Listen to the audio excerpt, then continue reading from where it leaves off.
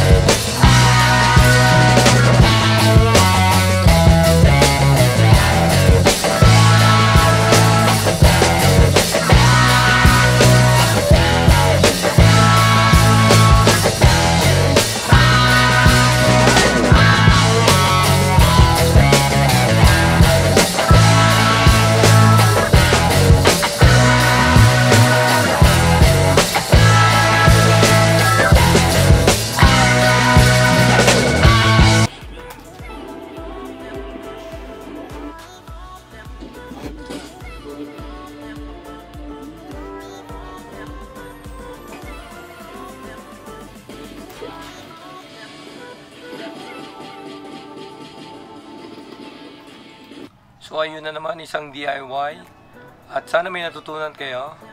And pag nagustuhan niyo itong video na to, eh, sana i-share niyo sa iba. At yun lang, kita-kita ulit tayo sa next DIY video tutorial. Get ready.